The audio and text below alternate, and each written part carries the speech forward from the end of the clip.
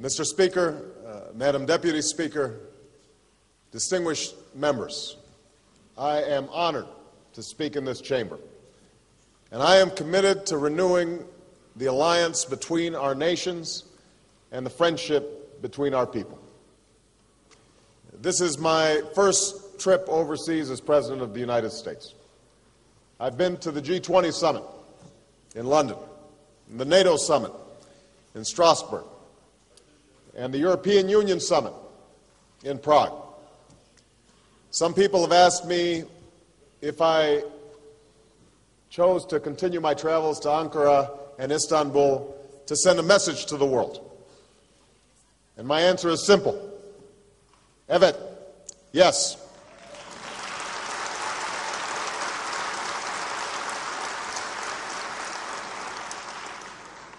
Turkey is a critical ally. Turkey is an important part of Europe. And Turkey and the United States must stand together and work together to overcome the challenges of our time. You know, this morning, I had the great privilege of visiting the tomb of your extraordinary founder of your republic. And I was deeply impressed by this beautiful memorial to a man who did so much to shape the course of history. But it is also clear that the greatest monument to Ataturk's life is not something that can be cast in stone and marble. His greatest legacy is Turkey's strong, vibrant, secular democracy, and that is the work that this assembly carries on today.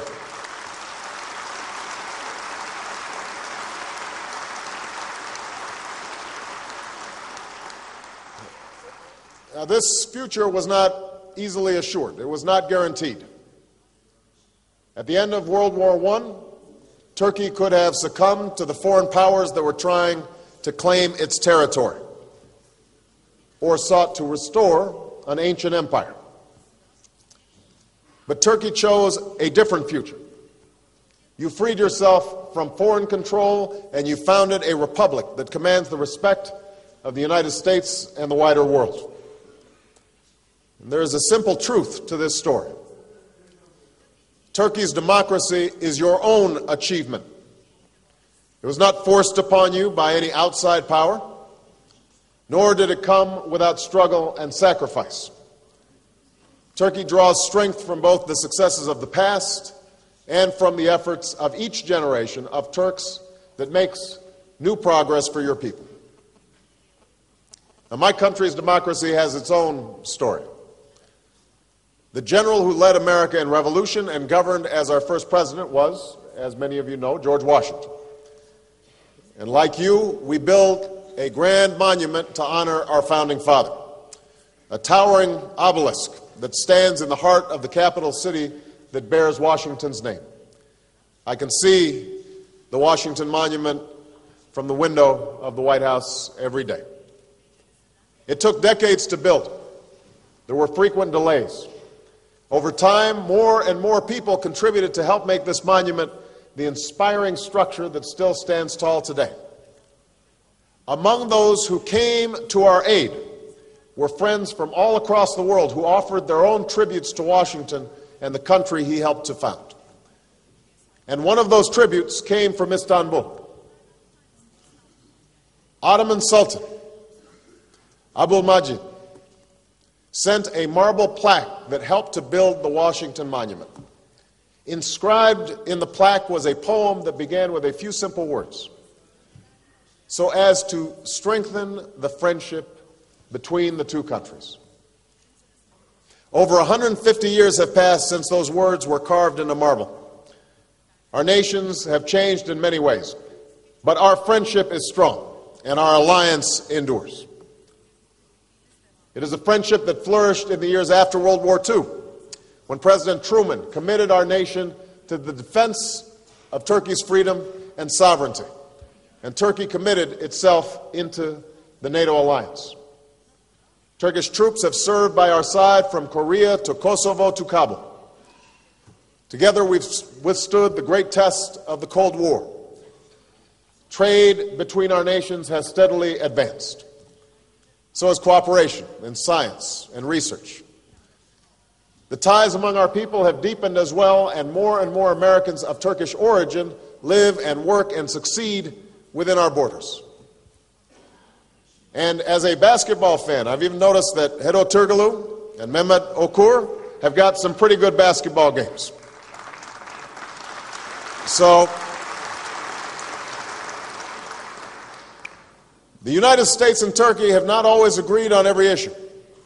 And that's to be expected. No two nations do. But we have stood together through many challenges over the last 60 years. And because of the strength of our alliance and the endurance of our friendship, both America and Turkey are stronger and the world is more secure. Now, our two democracies are confronted by an unprecedented set of challenges. An economic crisis that recognizes no borders. Extremism that leads to the killing of innocent men and women and children. Strains on our energy supply and a changing climate the proliferation of the world's deadliest weapons, and the persistence of tragic conflict. These are the great tests of our young century.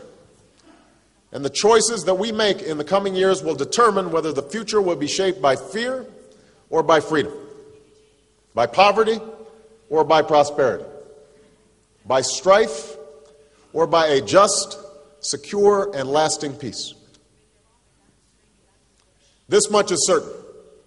No one nation can confront these challenges alone. And all nations have a stake in overcoming them. That is why we must listen to one another and seek common ground. That is why we must build on our mutual interests and rise above our differences. We are stronger when we act together.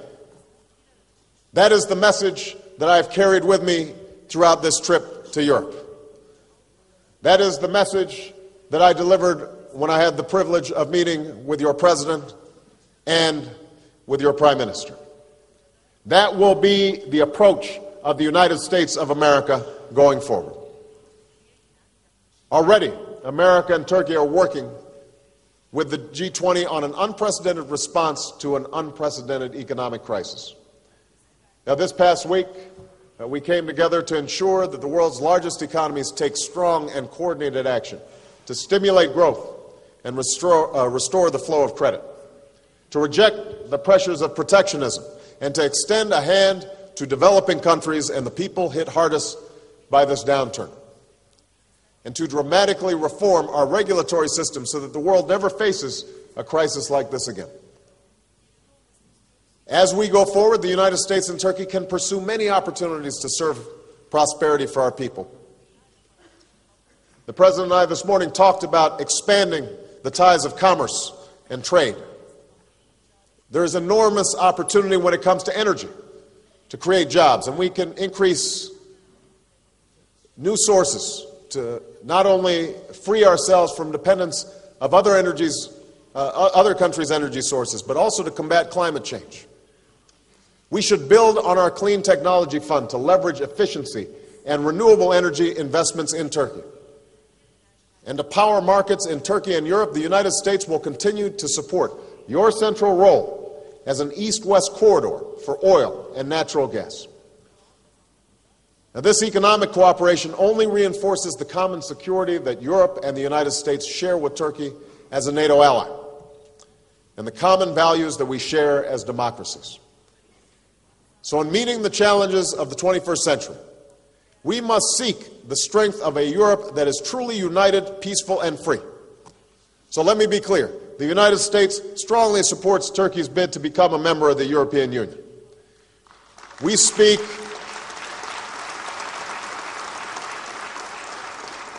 We speak not as members of the EU, but as close friends of both Turkey and Europe.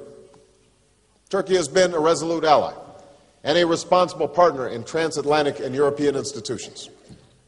Turkey is bound to Europe by more than the bridges over the Bosphorus. Centuries of shared history, culture, and commerce bring you together. Europe gains by the diversity of ethnicity, tradition, and faith. It is not diminished by it. And Turkish membership would broaden and strengthen Europe's foundation once more. Now, of course, Turkey has its own responsibilities, and you've made important progress towards membership. But I also know that Turkey has pursued difficult political reforms not simply because it's good for EU membership, but because it's right for Turkey. In the last several years, you've abolished state security courts. You've expanded the right to counsel. You've reformed the penal code and strengthened laws that govern the freedom of the press and assembly. You've lifted bans on teaching and broadcasting Kurdish. And the world noted with respect the important signal sent through a new state Kurdish television station.